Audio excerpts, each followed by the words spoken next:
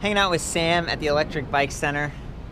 I love the shades, man. Oh, thanks. That is the perfect complement to this thing. This is the SEEV 800 from SSR Motorsports. I mean, this is just, it's crazy. Like, I saw the screenshots of it on their website, and then seeing it and riding it in person is just, it's something else. It's something else. It's, it's like, kind of like a scooter, but there's no pedals or anything like that, and it's, it's just so minimalist. Like, the only thing here is these awesome hydraulic brakes, real sturdy, kind of like almost like scooter brakes, like you see on a Vespa. Yeah, I equate this to more of like an ATC, like or an ATV. Okay. Uh, those size tires, I, I bet this could go across sand. Oh yeah. I'd love to try to take it out in sand. It reminds me of like the first generation little Honda. Uh, Like a ATC Ruckus? 70s. No, I'm going back Oh, like way the, the, like the late 60s, early 70s. Okay. Uh, even the tire pattern looked like the early Hondas had on them. Yeah. If you look at the very first ATCs, that's what they look like. Well, and just to quote, you know, the size of these things, it's 18, that's the diameter, by 9.5. That's like that's like the width that way by 8. That's like that way. Um, they're massive. They're massive. They give you a lot of cushion. Riding this thing is pretty cool because you can sit down on it or you can stand up. You know, it's like and I'm really comfy on this. I'm six foot four. I'm not. I'm not pinched up or crowded at all on this. I'm Yeah. very relaxed riding this bike. these are nice and adjustable, so you can kind of angle them. They're just super high rise. Are those like ape hangers almost? They're kind of like an ape hanger, but an ape hanger is usually above your shoulder. Super high, yeah. So these are just uh, appropriate to get them in the right level for you. Yeah. Okay, well, let's talk specs here. Um, 800 watt, gearless, direct drive hub motor. You do hear it a little bit. It's kind of a but being gearless, it should be solid.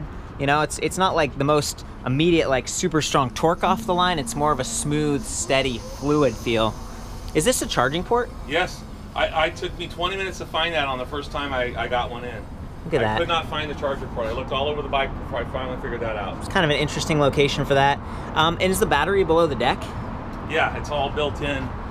Like right in here is where it starts. It- And we just tip it that way a little bit, and we Sure, can maybe. so you can get a really good view of that. Yeah, yeah, yeah.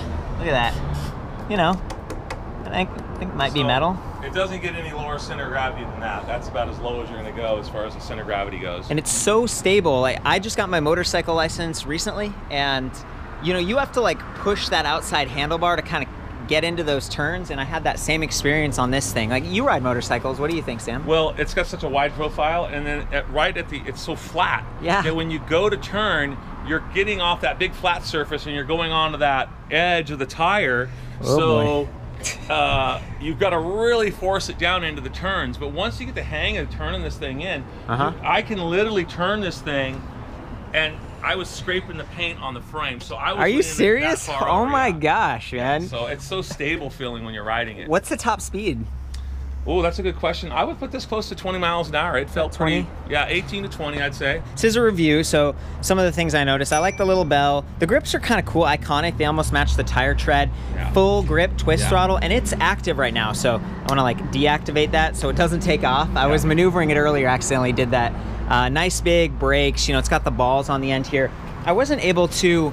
I, I actually got my calipers out to measure those disc brakes because they didn't have any markers on them. Yeah, thanks, man. Slide it over here a little bit more for you, Court. There we go. Thanks. Just try to get this thing all the way out. It looks like, you know, we're it's it's going maybe even like fur- further than my my calipers can. I'm gonna guess that these are like Two, 203. 203. Yeah, I think you're right. 203s. Um, front and rear hydraulic, and they've got that kind of V mark. I think this is the the case where, you know, American company SSR Motorsports they found something really cool over in Asia and they're importing it. You know, and, and I saw is this product about three years ago at Interbike, and I sat on it. And when I first originally saw it, I didn't think it was motorized. I had no clue. oh And I have a photograph of it. It was white framed with like uh, Yeah. copper fenders. cool. And then I, they they had introduced it, and I'm like, hey, I saw it like three years ago. Hmm. So they found it and just like branded it and you know brought it in. But they do a good job. We, you know, we've seen the Sand Viper, the Trail Viper. They're local here. What do you think? Is the company, you know, pretty good Uh, job? they're known more for their pit bikes and their scooters. Like gas powered stuff. And the CEO William actually consulted with me as to when it would be the best time to bring in electric bikes, and I told him, "Dude, it's now. Bring It's them happening. in. Yeah, it's happening." But I said, "Bring in something unique and different, you know, than the Yeah. rest of the marketplace." they did it. I mean, the, the seat with like the floating design. Um, I like the fenders. You know, it's going to keep the, the mud off of you and stuff. This would be so awesome at Burning Man and skateboard deck Full- situation. Yeah, grip tape. Grip tape. Across. And I notice a lot of people that buy these, uh, their family, you know, kind of the dad has it. He'll sit here, and I've seen multiple guys that'll carry Junior right Huh. up here because you got plenty of room in here. Dude. I actually sold the very first one of these to my brother-in-law, Huh. who's handicapped, and he has to ride around in a, uh, a motorized scooter. I see. You know, but he's like limited to like three three miles an hour. On this, he can go with my sister on her electric bike, and he can kind of keep up, and, and it's a little bit faster pace on this. And I, I said, if you don't like it, just give it back to me. Yeah. And he dug it. He loved it. He kept so it. He kept it. Yeah. Okay, so other things. You got some reflectors here. Not a whole lot. This midnight black one, you know, you might want to have a backpack with a reflector or something. Uh, the battery, we're talking about lithium ion, 48 volt, 20 amp hours. That's that's really big, and I guess it's nice to have that extra size because this is heavy. We were trying to lift it a minute ago. We didn't quite get it off the ground just because Yeah. the balance point. We didn't want to wreck the seat. It's at least 100 pounds, probably. Yeah, was- we were in excess of 100 pounds trying to lift it up. So you know, keep that in mind in terms of how you're going to move this and getting the wheels off. You know, it's it's not like a bicycle where there's quick release and stuff. This is more like a vehicle, and uh, I don't know. I, I like that. Let's see other things to to call out. So we got the twist throttle. There's the LED indicator. B- before you were sitting on it, but I actually stood on it more like a stand-up scooter, and it and it did really well. I was impressed with that. It, very linear power delivery with the full grip twist throttle and really nice brakes with the with the hydraulic brakes. It Yeah. stops well, it accelerates well. Takes a little bit of getting used to the handling. I'd, I'd, I'd recommend practicing your V8s in a parking lot. You know? Oh, and that's the thing. Yeah, there is kind of a limited. That's as far as it goes, right? Like, you know, they, they kind of stop it so that you're not hitting the frame down here. I'm gonna hop on this thing, Sam. Remember, maybe will you real quick? And Yeah. Uh, one other thing I want to call out real quick before it is. Yeah. If you get a flat tire on this, you're gonna want to take it to like a motorcycle store more than likely Oh. that does like ATV style. Yeah. Because your average bike shop is not going to be able to handle this type of uh, uh, repair. let me do a handoff real quick. Can you film me for a second? Sure. Okay. So these are also really cool. Like, look at the packaging. Really nice. Just kind of a uh, more attention to detail than a generic cardboard box. There's some keys. You get an extra key. It's just the ignition's right up there by the handlebar. Two amp charger, kind of standard. It's, what I'm used to seeing for electric bikes and stuff. And Um, that's where your key would plug in. Would be right there. yeah, and then And you just turn it on and off. I'm gonna do some measurements. It looks like the ground clearance is like three and a half inches or something. You know, reach maybe about 20 inches. The overall length of this thing, in case you're gonna try to park it in your garage, we're at like 69 inches That's like a motorcycle or a scooter almost. yeah, yeah. Seat height, 26 inches. The standover height, this thing is nothing. I mean, it's super easy to stand over. That's the riding position I was talking about before. Like, if it's really bumpy, you can kind of like absorb some bumps with your knees, or you can sit down. And the kickstand over on this side, you know, it's just a tiny little thing, but it works pretty well. Yeah, it's just right there. So let's do it, man. Do you want to hop on this thing and give it some action? Thank I you. think it's kind of cool for custom people to see you actually getting out your tape measure know, right? and showing them like what you go through on every review. Like all that tape measure comes out, your magnet comes out. Yeah. Is it metal? Is it aluminum? Yeah. There's a lot to go into And each I one of these I think this one was reviews that you steel, right? We were Yeah, I believe so. Yeah, right. we're actually rushing on this one. These are plastic fenders. We're rushing a little bit because someone's actually buying this, and they were like, "Yeah, you can look at it quickly." so 10 we're minutes. We're trying 10 to minutes. be. He's ready to go. So do it, juice Uh, it. Before I head out, I want to also mention the colors it comes in. You can get Oh, it with yeah. white frame and black fenders, all black, or white frame with red fenders. Those are the three color combinations you can get it from from SSR Motorsports. Sweet. Are you in Norwalk, California. Norwalk? Okay. Yeah, so they're just like 10 minutes away from us. All right, here we go.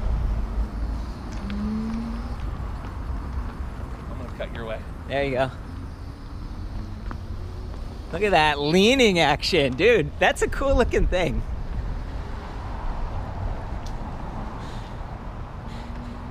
So it's been a while since I've ridden one of these things. It's such a funky feel, isn't it? It is. You really gotta really like commit pushing it down into the corner. You have to push with that outer arm. Do Really hard, yeah. Do you mind if I hop on real quick? Yeah, give it a spin for it. Okay, we are almost done. This is the guy who's buying it. Do you want to say hi? Hey, what's up? How are you going to use this? Just cruise on the beach. Cruise on the beach. You said you're by Huntington Beach, right? Newport. Oh, Newport. Yeah, Oh, Newport Beach. nice, man. Thank you again. He got another one of those IMAXs back there for a friend. So, yep, here we go. I'm gonna hop on this thing. It's a little bit tricky to kind of maneuver. There we go. Nice and smooth. Yeah, I like the power delivery. It's just real quiet. You do hear the motor a little bit in the back.